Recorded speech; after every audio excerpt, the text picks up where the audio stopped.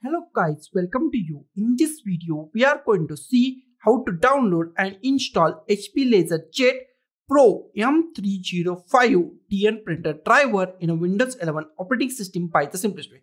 First of all, just go to the any web browser and here just type HP LaserJet Pro M305 DN driver and hit enter key on our keyboard. Okay. The first link is from the support.hp.com. It is an official website of HP printer. Open that link now our website is open. This website automatically detect our operating system, but this website is not supporting Windows 11. So it redirect you to the Windows 10 and Windows 10 drivers are 110% work with the, our Windows 11. Okay, so don't worry about that. Here we find our all drivers and here we find HP LaserJet Pro M305DN printer full software solution. Okay, just click at here, download now our page is redirect to the another page and our download is started at here and it takes some time. So be a patient and wait for some time. Now our download is completed. Just click on show all. Just click on show in folder.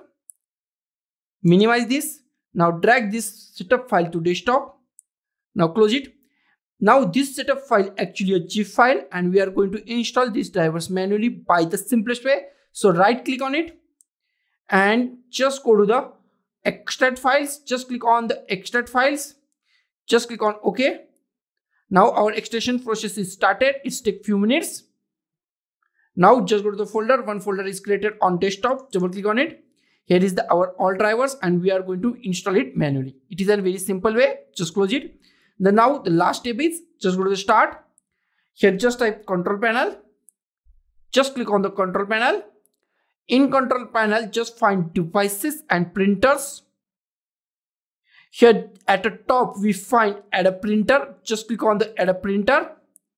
Minimize this.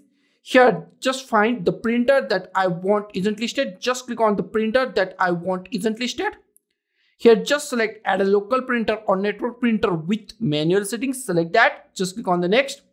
Here, just select the port. Port is the most IMP part. Here, just go to the here and if you find dot 4 underscore 001 HP printer device or HP printer device, then select that. If you not find HP printer device, then the next option is USB. Just select any USB port, USB 001, 002, 003, 004. Just select any USB port and just click on the next. Here, just go to the have a disk. Now just go to the browse. Now just go to the desktop. Here we find our newly created folder. Double click on it here we find many files. You can click on any file. I just click on the auto run, double click on it and just click on the OK. Now here we find two printers or the two version, version 3 or version 4. You can click on any version. This is a series printer. So it is showing a 304 to 305. Okay. Click on any driver that you like and just click on the next. Now just add your printer name and just click on the next and just click on the next. Now our installation process is started. Just click on yes. Now, if you want to print a test page, then click on the printer test page and just click on the finish. Our installation is completed.